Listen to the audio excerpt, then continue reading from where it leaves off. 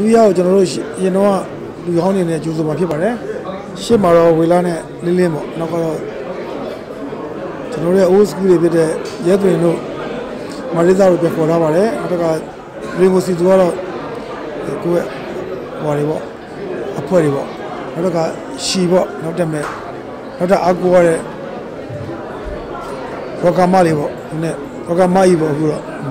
အဲဒီစီအောက်တိုးပေါ့ အောက်က floor ကြီးကတော့ dance floor ကြီးအဲ့မှာစင်ခွင်ခုံးစင်မမကလကလထာနဲ့ကြည့်ကြည့်နောက်ကဘောမှာဟိုဒီပူကြီးလောက်ခြေထောက်တွေပဲဒူးတွေတိတ်မကောင်းဆိုတော့စက်တင်နဲ့ထဲလို့ရအောင်လုပ်ပေးတာတော့2020ကတော့တကယ်တော့ကိုပြောနေတဲ့ຢာတွေကအများကြီးပေါ့နော်မြင်နေရတဲ့အမြင်မတော်ရတဲ့အများကြီးပဲအဲ့အဲ့ဒါတွေကိုလိုက်ချင်းချင်းချင်းနဲ့နောက်ဆုံးရဘာသွားတွေ့မိလဲဆိုတော့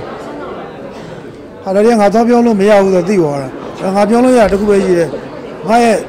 ခံယူချက်ကိုငါပြောလို့တော့ရတယ်ပေါ့နော်အဲ့တော့ကျွန်တော်ဘာလို့လဲဆိုတော့တခုမြင်အခုတော့အရင်ဆုံးကိုယ့်ရဲ့အဲ့ကိုမြင်လိုက်တဲ့အရာတခုမှထားတဲ့ခံယူချက်ကိုပဲကျွန်တော်ပြောင်းလို့တယ်အဲ့တော့အဲ့ဒါဘေးရတယ်ကိုပြောင်းလို့မရတဲ့ခါတွေမှကြီးလာတယ်တိလာလေးပေါ့နော်အိမ်မှာတော့ကျွန်တော်ဟိုအဖိုးကြီးဖြစ်လာတော့မသိဘူးကောင်းမလာတော့ပြောတယ်ဟိုတခုဆိုရင်ဝင်မခံဘူးတဲ့ပြီးတော့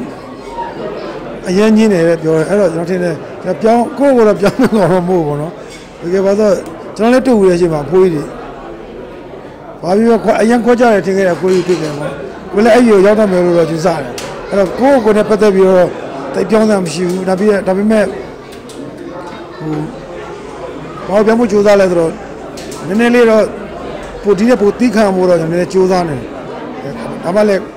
ဟိုနေသားရှိမှလေဒါကကျွန်တော်ငယ်ရနောက်ပြီးပြောခဲ့တာရှိတယ်တကြီးလိုက်ဘယ်လိုနေမလဲ တကြီးလိုက်ငါတော့ပေါ်ပေါ်နေပေါ်ပေါ်စားပဲနေမယ်ကျွန်တော်ပြောတာပြောခဲ့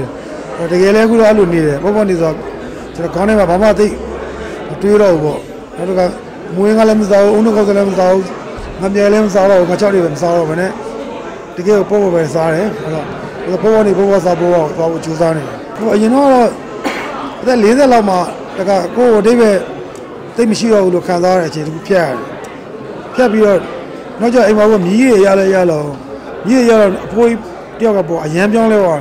မြည်လေးတွေကြောင့်ကျွန်တော်ရဲ့အတွေးခေါ်တွေရော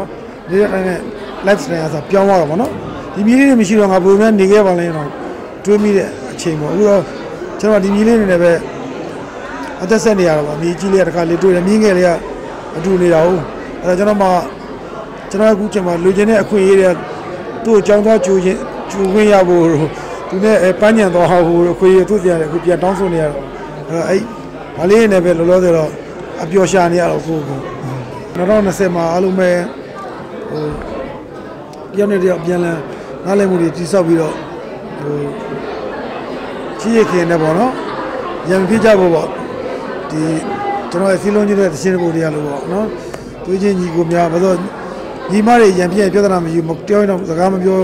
ကိုတော့နားအေးသေးတယ်မလားညီကိုရံပြည့်အဲ့လိုမိုတိုတွေတားတွေဆွဲတယ်အဓိကတော့ညီကိုတွေလည်းရံပြည့်ဖို့လိုပါတယ် ညီကိုတွေတော့နားလည်မှုတိဆောက်ပါတယောက်တော့ကျွန်တော်စကားနဲ့ပြောရတဲ့